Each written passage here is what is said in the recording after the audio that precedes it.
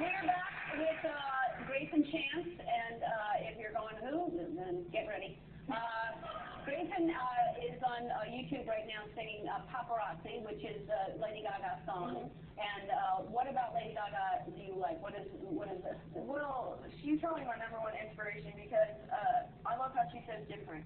And she takes her individuality and she takes that amazing talent that she has and she makes just great songs that are catchy and they make you want to dance and maybe throw out some Ellen moves that you have. it's just, uh, she's just a big inspiration because I love her individuality and the way she can harness that with her talent is amazing. Yeah, she's she's pretty special. Um, well, we have somebody on the line right now. Uh oh, Gaga. Hi, hi, Ellen.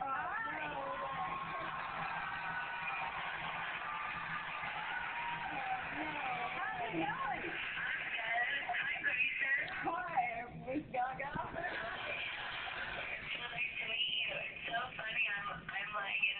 With my mom, taking a break, and they said Ellen's gonna call you, and then my dad was laughing that you called. So he's been, you know how the caller ID on the phone talks sometimes